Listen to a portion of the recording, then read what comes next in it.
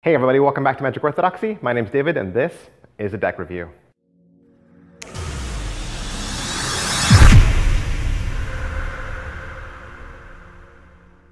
Today we're going to look at the Imperial Gold deck from Randy Butterfield and Midnight Cards. All right, so what is the inspiration behind this deck? Uh, the Imperial Gold deck is a luxurious deck of playing cards, like I said, inspired uh, by Midnight Cards, and where Randy took his uh, true inspiration from was the Fabergé eggs and Imperial Russia. Uh, these are printed from expert playing cards, and it is a limited run of 1,000 decks. The deck itself features complete custom artwork that was all created from original 3D models and then it was rendered uh, through Photoshop. The Imperial Gold Tuck Case is a stunning luminescent gold paper stock. Uh, this was printed using a four-part process.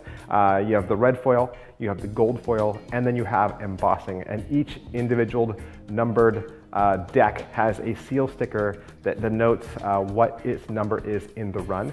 And that is also printed in a dark red Pantone on gold foil material. So everything uh, from top to bottom on this deck is luxurious and gorgeous. The front of the tuck case uh, simply says Imperial Gold Deck, and then you have this uh, beautiful like gold Imperial uh, pattern behind where, where, you can see the metallic um, shining against the matte. You have this double uh, headed eagle right here in the center, and this part is embossed, and you see a little shield right there on its chest. The rest of the tuck case is really simplistic in design. There's nothing uh, printed on these sides. The top simply has the custom uh, tuck seal there, and then the back design uh, has an embossed Fabergé egg, but then the repeated uh, pattern from the front.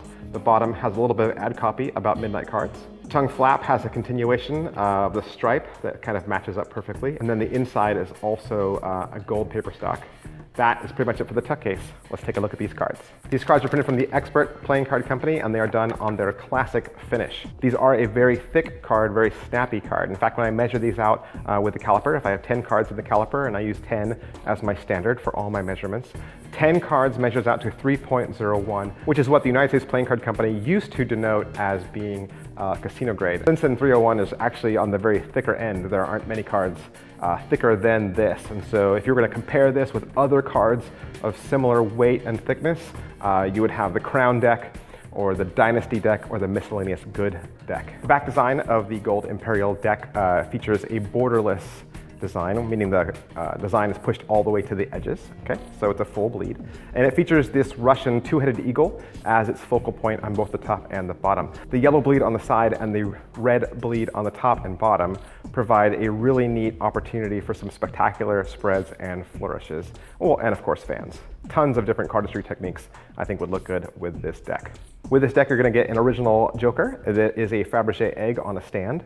Uh, one Joker has the top opened and a little crown sticking out, and the other one has the top closed. Each one of your aces uh, features a different element. And so if you look at the Ace of Spades underneath, it says Imperial Gold, and underneath the diamonds, it says the Cross of St. George.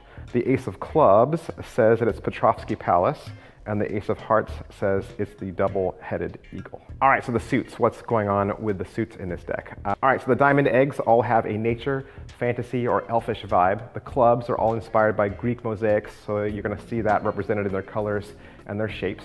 Uh, the Russian double-headed eagle is the focal point for the hearts and the black eggs, and they also draw inspiration from ancient Rome. And then lastly, uh, you have the spades, which are inspired by Baroque and the Gothic movement.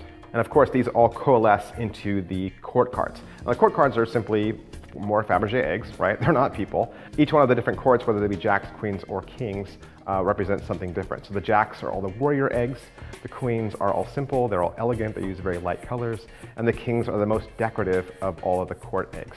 Also, if you look, each one of the king eggs has a crown at the top. And if you look at the pips and indices, you'll notice that they all have an original layout, original font, and original pips. All right, so that is my review of the Imperial Gold deck from Randy Butterfield and Midnight Cards. As always, I wanna thank Randy for allowing me to have this deck so that I could do the review for you. And if you would like to check him out, you can visit him at his website and his storefront. As always, recommend that you like this video just so other people can find it faster. We also recommend that you subscribe to this channel just to stay up to date on all the latest in cards and card magic. If you want to follow me on social media, you can. I'm at facebook.com slash magicorthodoxy, twitter.com slash magicorthodoxy, instagram.com slash magic underscore orthodoxy, and if you need more content, you can always find it at magicorthodoxy.com. Thanks. Bye.